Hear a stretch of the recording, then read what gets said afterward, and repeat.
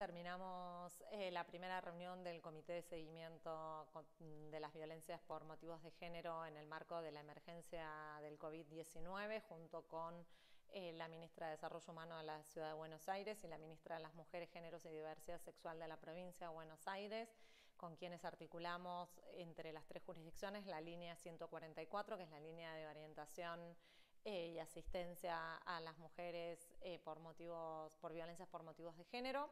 pensando en cómo articular y hacer el seguimiento día a día eh, de los llamados y de las consultas que estamos recibiendo, así podemos dar una respuesta más eficaz desde el Estado en esta circunstancia tan particular que estamos viviendo. Estamos muy satisfechas, fue una reunión de muchísimo trabajo, veníamos haciéndola ya, una articulación fuerte con la Nación en los temas específicos, en, por supuesto la línea, pero en los temas de las derivaciones, los casos críticos de alto riesgo, pero nos ayudó mucho que estemos Nación, Ciudad y la provincia como para sistematizar los temas fundamentales, los más urgentes y la perspectiva de trabajo para los próximos días. Se ha extendido el periodo de aislamiento social obligatorio y esto, bueno,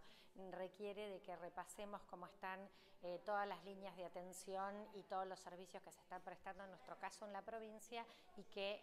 en, otros tienen rebotes con, la, con Nación o con la ciudad. Bueno, una articulación que va a ayudar mucho para mejorar la calidad de la intervención. Para nosotras es realmente importante poder trabajar articuladas entre nación, ciudad, provincia y buscar soluciones conjuntas que nos permitan abordar la problemática de la mejor manera y así garantizar que todas las mujeres que sean víctimas de violencia de género estén acompañadas, que el Estado esté presente, que puedan denunciar y generar los dispositivos específicos para acompañarlos.